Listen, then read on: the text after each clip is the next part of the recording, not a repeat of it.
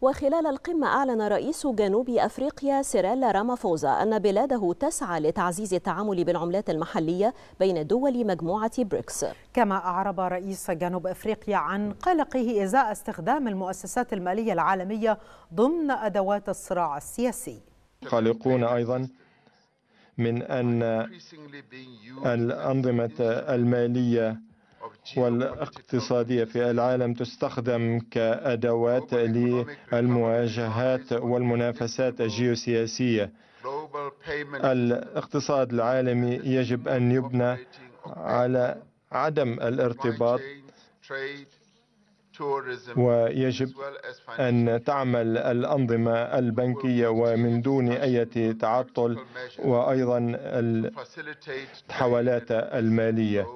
ونحن نتخذ الإجراءات المرتبطة بتيارات الاستثمارات ونرى أن هذا الموضوع يجب أن يولى اهتماما أكبر